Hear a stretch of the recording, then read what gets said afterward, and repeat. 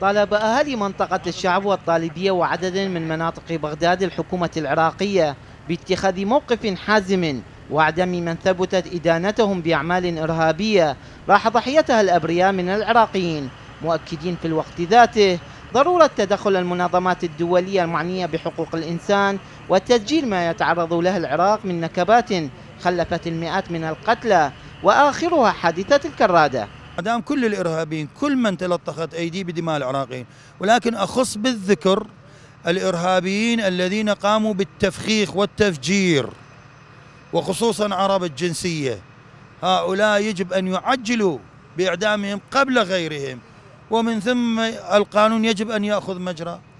وإلا سنبقى بهذه الدوامة ولا ننتهي بالأمس كانت كرادة وقبلها سوق عريبة وقبلها الدورة وقبلها علوة الجميله وإلى اخره وهذا المسلسل الدامي لا ينتهي إلا باعدام هؤلاء. نطالب المجتمع الدولي ومنظمات المجتمع الإنساني وكل الخيرين بالعالم توثيق الجرائم التي حدثت على العراقيين ورفعها للأمم المتحدة من أجل معاقبة تلك الدول الإرهابية. معاقبات صارمة يعني وين وين دور المجتمع الدولي؟ وين دور المجتمع المنظمات الإنسانية العالمية؟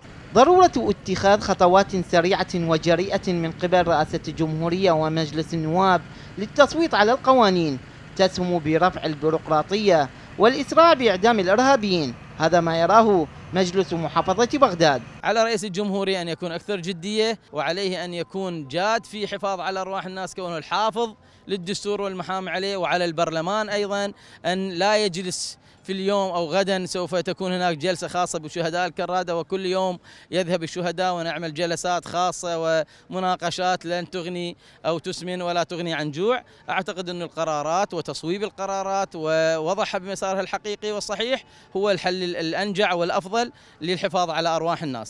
رفع الخيم وإنهاء الاعتصامات يبقى مرهونا. بجدية عمل المعنيين في الحكومة من أجل احتواء موجة غضب الجماهير التي بدأت تتصاعد بعد التفجير الإرهابي الذي تعرضت له منطقة الكرادة. دون أن تفتح الجهات ذات العلاقة أي تحقيق بالحادث حتى الآن أو على الأقل بيان طبيعة التفجير الذي يراه كثيرون بأنه يختلف عن باقي التفجيرات. من بغداد منير الجبوري المدى.